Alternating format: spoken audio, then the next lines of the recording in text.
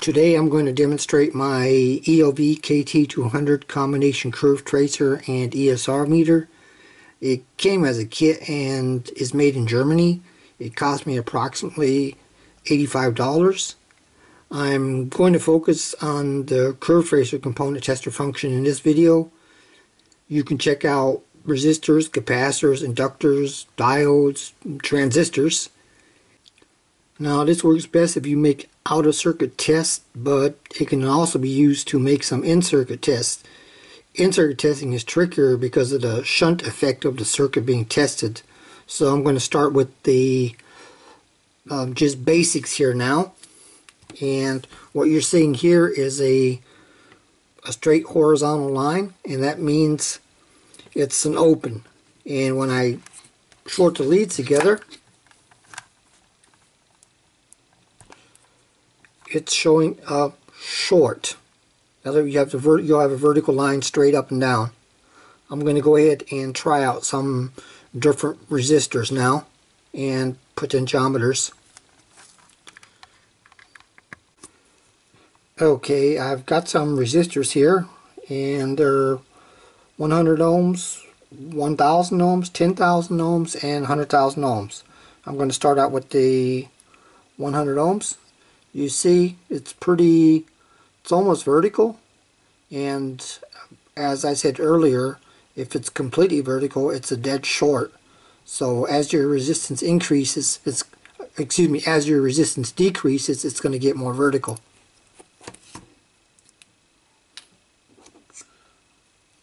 So now one okay 1000 ohms uh, it's got a little bit more of a slant to it. Now we'll try the 10,000 ohms.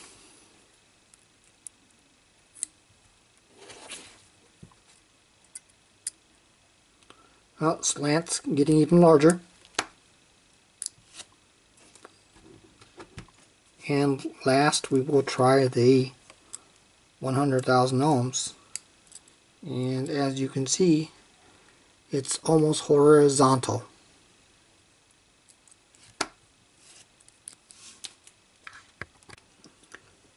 Here is a potentiometer I've got hooked up and I'm going to go ahead and change the resistance now. You can see as I turn here in a counterclockwise direction the resistance is getting larger it also only goes that far, which tells me that this potentiometer is not very high value. It's probably, I don't know, looks like 2.5K or 5K or something. Also, if you had a problem, say, with the potentiometer, you were working on something and you didn't know if it was smooth in all areas, you could check it out like this too. See where there's any dead spots.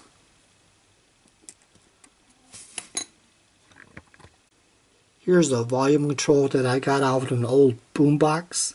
As far as I remember, one of these was bad. Um, I, I, kept it anyways because I might be able to use the other one. And I'm going to go ahead and check this out now. Bye. Okay.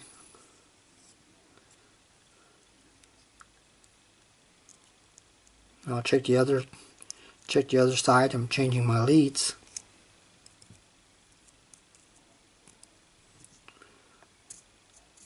Okay, this does nothing, so this is definitely bad.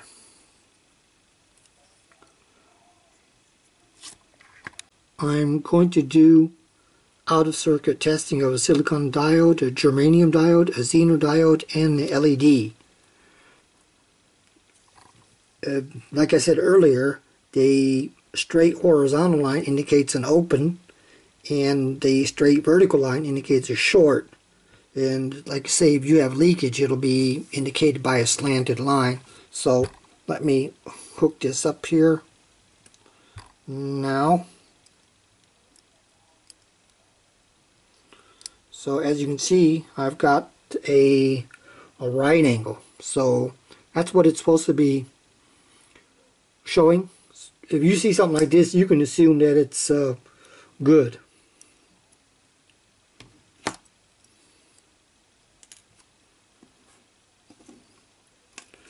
The germanium diode comes next. I'm just hooking these up now in old way. That was, I believe, a 1N34. Now a Zener diode. I think it's like a 5.5 volt or something. That's exactly how a Zener diode is supposed to look. You see if it has like a little, has like a little, here a little knee bend like that. And last, we'll take a look at an LED.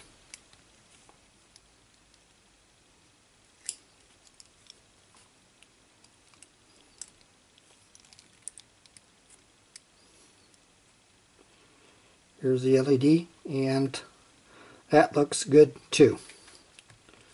You can see this horizontal line is longer because the LED takes a higher, has a higher turn on voltage.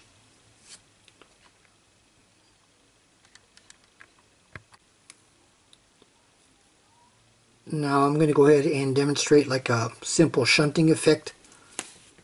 As you can see here, I've uh, put a 100,000 ohm resistor in parallel with the diode.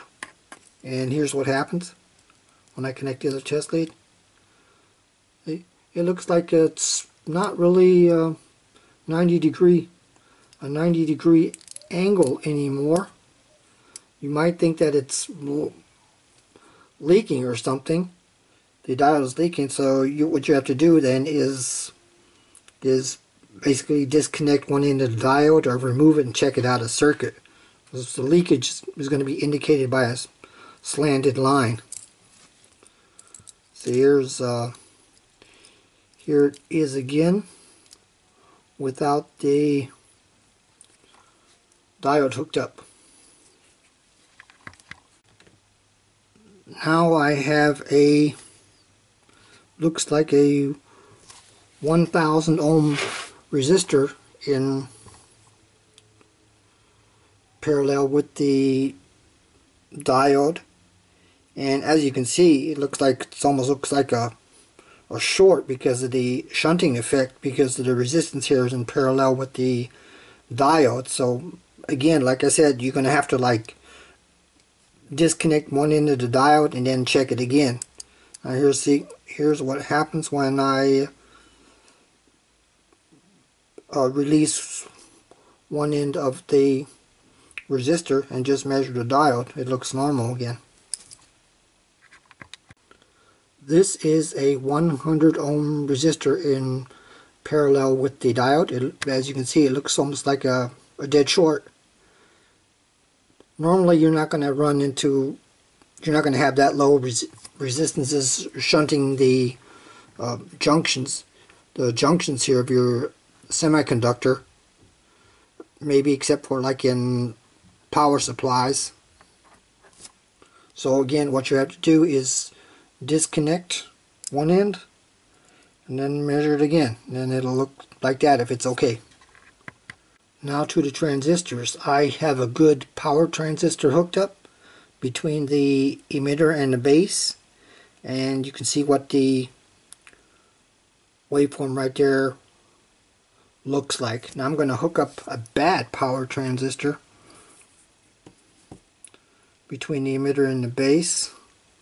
I definitely know this one is bad because I had replaced it. It came out of a Technics uh, stereo receiver.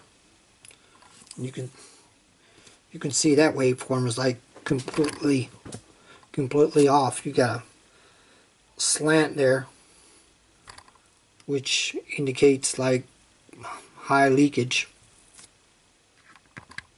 Now I have the leads hooked up to the good transistor between the base and emitter and it'll look like that. It'll be like uh, basically uh, a right angle. See what happens when I reverse the leads. Same thing. So we can say that's correct. And now I'll go ahead and do between the emitter and the base.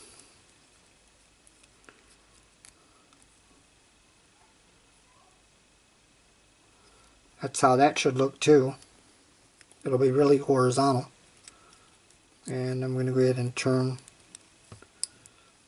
the leads around. That seems to be okay. Now back to the bad transistor.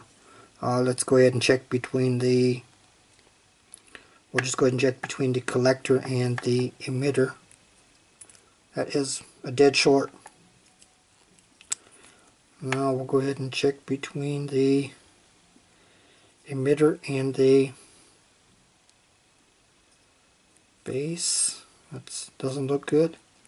And between the base and the emitter that doesn't look good either. So this one is definitely bad. Now I have a small signal transistor hooked up. Uh, like I said if the vertical part of the waveform is tilted then the transistor is bad because ideally the resistance of a forward base junction should be zero so like if it's in circuit, no amount of uh, external resistance from a circuit is going to go ahead and increase the zero resistance. It's kind of like having two resistors in parallel. The total resistance is going to be less than the lowest resistance. In this case, the lowest resistance is going, like going to be a short. So now how do you determine the terminals if you don't know what's what? Okay, I actually know what this is, but just for the sake of demonstration, I'm going to go ahead and act like I don't know.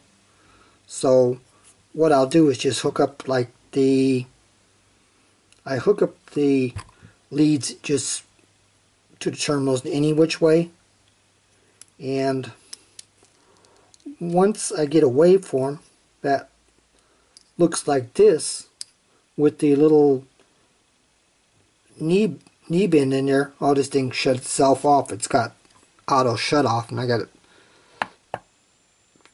I'm to have to turn that off. That's irky.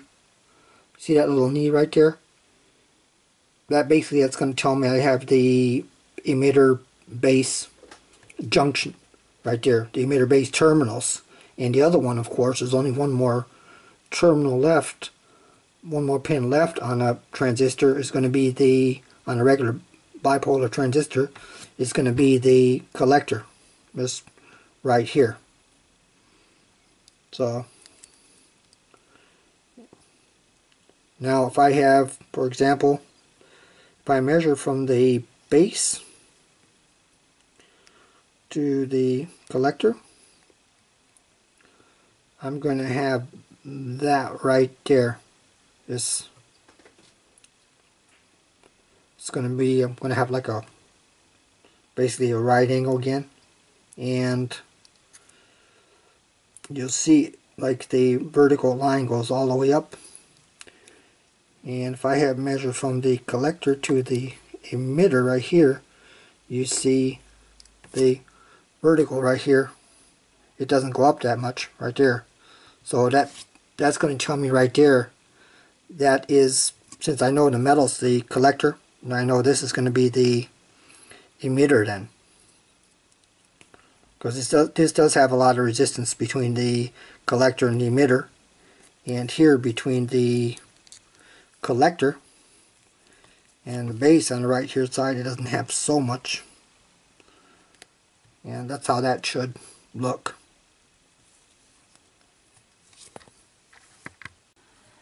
now here's what I meant about doing in-circuit tests and for example checking out transistors and diodes.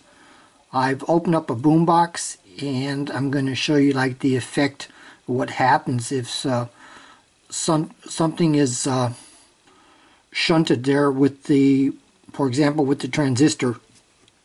This transistor is actually good because everything is okay with the boombox except for the cassette mechanism so just for the sake of demonstration here I'm going to check between the collector and the emitter and let me uh, try to focus that. See, I get what's shown almost like a dead a dead short between the collector and emitter and, and that's not right. I mean there's really nothing wrong with this transistor. So what you'd have to do is like like I said unsolder unsolder the leads um, or go ahead and re remove the transistor. I'm going to do another one with uh, another test with the diode now. Now I'm going to test one of these rectifier diodes in the power supply of this Sharp GF9191 and show what the waveform then the in-circuit waveform looks like. So I'm going to go ahead and check this diode right there where I've got my leads on and I'll show you here in a second what the waveform looks like. Now I'm going to go ahead and collect the leads and we'll look at the waveform, see what happens. See that waveform there? It looks really weird. You might think there's something wrong with this diode, but actually there's nothing wrong with it. So again, you'd have to like disconnect one of the leads or go ahead and unsolder it uh, completely.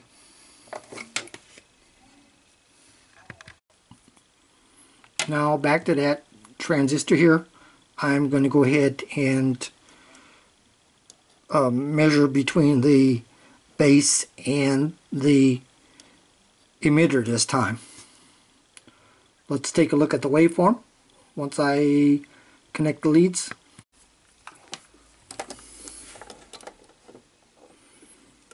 So that's exactly what it's supposed to look like. So I can assume that this that the junction of this transistor is good.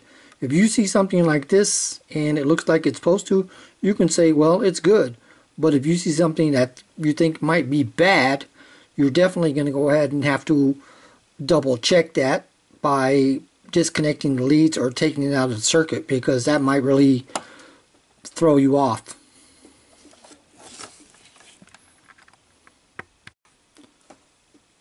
So again, what I mean to say is what's what looks good is good, and what looks bad definitely needs to be double checked.